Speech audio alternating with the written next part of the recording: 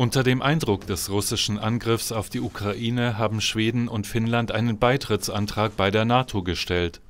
Das Militärbündnis will die beiden nordischen Länder nun schnell aufnehmen. Damit soll die heikle Übergangszeit zwischen Bewerbung und offizieller Aufnahme verkürzt werden. Zunächst müssen die bisherigen Mitglieder einstimmig eine förmliche Einladung aussprechen, um die Beitrittsverhandlungen in Gang zu setzen. Eingeladen werden können nur Länder, die sich an demokratische Prinzipien halten. Anschließend muss der Beitritt von den Parlamenten aller 30 Mitgliedstaaten ratifiziert werden.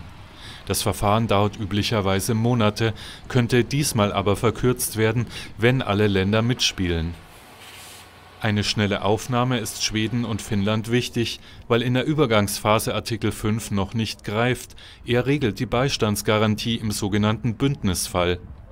Der NATO zufolge ist das Bündnis aber bereit, den beiden Staaten in der Zwischenphase Sicherheitsgarantien zu gewähren.